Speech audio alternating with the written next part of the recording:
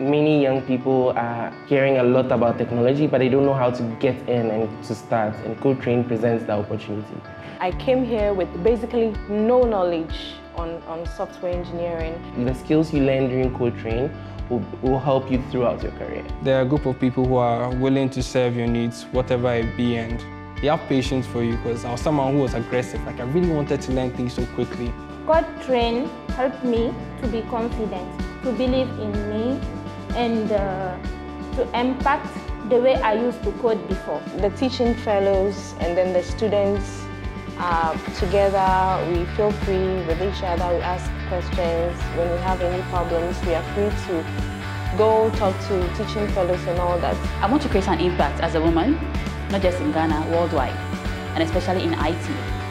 So I plan to make something big out of my course in CodeTrain. My expectations in coaching is to achieve the abilities towards my career goals, which is to be a software developer and to fit in any tech company. Coaching is an amazing, amazing opportunity um, to help you get out there and then be fantastic.